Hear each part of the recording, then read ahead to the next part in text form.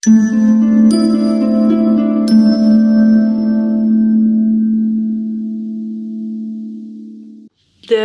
tafzijde is, uh, een, ik, vind ik, een hele mooie zijde.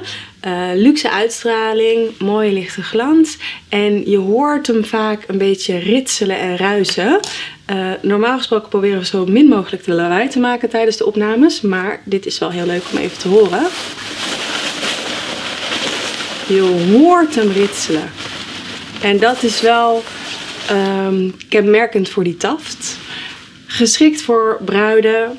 Uh, moeder van de bruid in een mooi jasje, uh, mooie rok. Geschikt voor borduren, voor hoeden maken. Uh, minder geschikt voor filte of soepelvallende kleding. Dus het is echt zo'n zo'n stijf taft die mooi blijft staan. Mooie zijdeglans. Het is cadeautje om mee te werken.